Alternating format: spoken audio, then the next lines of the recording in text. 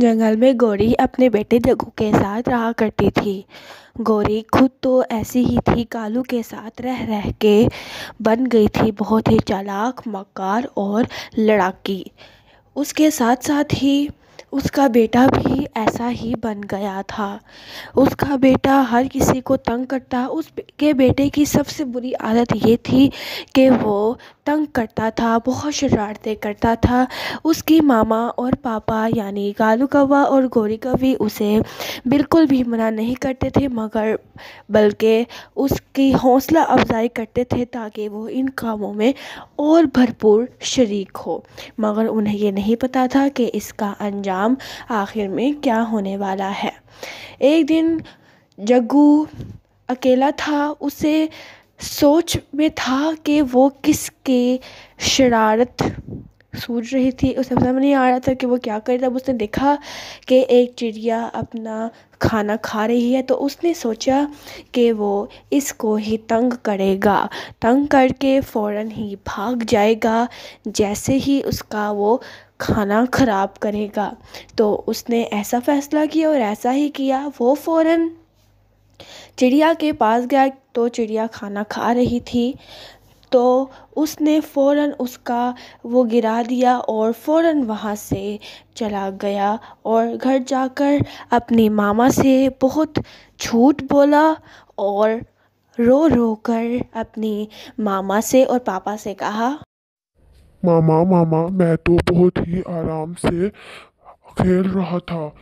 गलती से मैं आपके पास अपने घर आ रहा था कि अचानक से टूनी चिड़िया आंटी खाना खा रही थी। तो गलती से मेरा उनको पर लगा और वो बहुत ही ज़्यादा गुस्सा हो गई। उन्हें लगा कि ये मैंने ही किया है। हमेशा मुझे बचा ले, वो मुझे बहुत ज़्यादा मारेंगी। मैं आपके पास भाग आया हूँ। नहीं नहीं, ऐसी बिल्कुल बात नहीं है। वो तुम्हें तो हाथ तक नहीं लगाएगी। वो अपने आप को समझती क्या है? मेरे बेटे अगर आयदा के बाद किसी ने कोई हाथ लगाया तुम्हें तो मैं उसे छोड़ूँगी नहीं। आने दो उसे।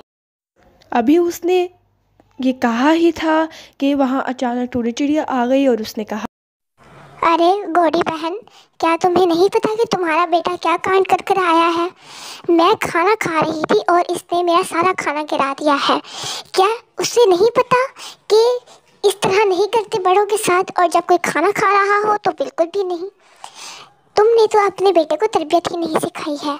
कम अज़ कम थोड़ी अच्छी तरबियत करते तो शायद आज तुम अपने बेटे की हमेशा हर किसी के मुँह से तरीफ़ें सुनती।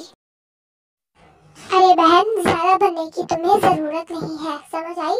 मैंने जो तबीयत की है, बहुत अच्छी की है और तुमसे ज़्यादा अच्छी गई है। और तुम्हारा कोई हक नहीं है कि तुम कुछ भी कहो। मेरे बेटे की कोई गलती नहीं है, वो तो गलती से जा रहा था। वो तो मेरे पास आ रहा था। मैं उसकी मामा हूँ। ज़ाहिर सी बात है, मेरे पास ही आएगा और वो गलती से लग गया, समझ आई तुम्हें? और बिना तहकीक किए तुम इस तरह शिकायतें लगाने नहीं आ सकती। आइंदा के बाद अगर तुमने मेरे बेटे के बारे में कुछ भी कहा तो मुझसे बुरा कोई नहीं होगा। ये तुम जान लो, सोच लो और मेरे बेटे के कहने के बारे में पहले सौ दफ़ा सोचना, समझ आई तुम्हें? फिर वो वहाँ से गुस्से से चली गई। कुछ दिनों बाद उसने फिर शरारत करने का सोचा। मेरा दिल कर रहा है कि मैं किसी के साथ शरारत करूँ, लेकिन मुझे समझ नहीं आ रही कि मैं किसके साथ करूँ। सब शिकायतें लगा चुके हैं। अब सिर्फ़ और सिर्फ़ चील ही आंटी रह गई है। अब मैं उनके साथ कुछ कर भी तो नहीं सकता हूँ। वरना वो तो मुझे बहुत ही ज़्यादा डांटेंगी। ये ना हो कि मेरा पढ़ भी तोड़ दे। और अगर पढ़ तोड़ दिया तो मैं तो घर जाने के लायक भी नहीं रहूँगा। चलो वैसे ही करता हूँ। फिर उसने यही करने का सोचा और ऐसा ही किया। वो फ़ौरन चील के पास गया। चील आपस में अपने आप से ही बातें कर रही थी। वो फ़ौरन आया और चील को बहुत ही ज़ोर से धक्का मारकर उसके सर पर मारकर चला गया। उसे ये नहीं पता था कि उसने बहुत बड़ी गलती की थी।